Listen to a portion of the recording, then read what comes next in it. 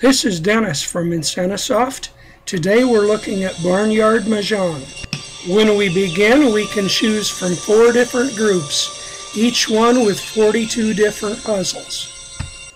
In Barnyard Mahjong, instead of Chinese characters and symbols, we have tiles with farm images and familiar sounds from the farm. Watch the patterns as additional layers of tiles complete the puzzle. I'm going to show you how to choose a new puzzle. Push pause and then go back to the layout screen. Then choose whichever other layout you want. When looking for matches, remember that only tiles with the right or the left edge exposed can be used to make a match.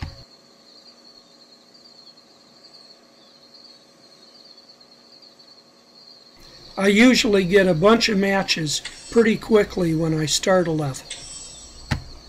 I think this is my favorite Mahjong game because I can match up farm animals and produce much better than I can match up Chinese characters and symbols. When you don't see a match, the magnifying glass will show you one. You can use it three times during a level. The reshuffle button will usually give you a lot of new matches. Right below the reshuffle button is the redo button. So if you need to take back a move, push the redo button. Hitting the question mark brings up the help screen. Here we find that any two dogs or any two cats will make a match. Since I reshuffled, now I see a bunch of new matches.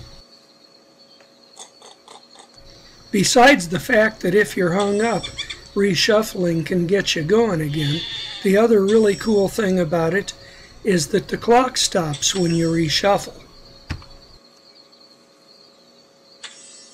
If you prefer the classic Mahjong tile set with the Chinese characters, be sure to check out Ensenasoft's Mahjong Deluxe. It has the classic tile set, a couple of different music selections, and your choice of puzzle backgrounds. Now I'm going to hit pause and show you the options in the pause menu. With these two buttons you can turn off the music or the sound effects.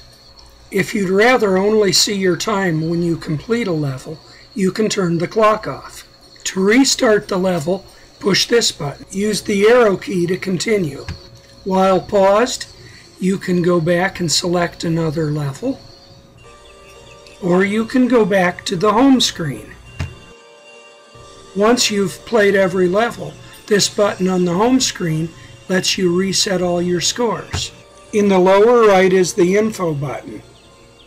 The button by my left thumb will take you to Ensenasoft in the App Store, where you can leave a review or see the other games we have to offer. In the upper left corner are the Facebook and Twitter buttons so you can share our games with your friends.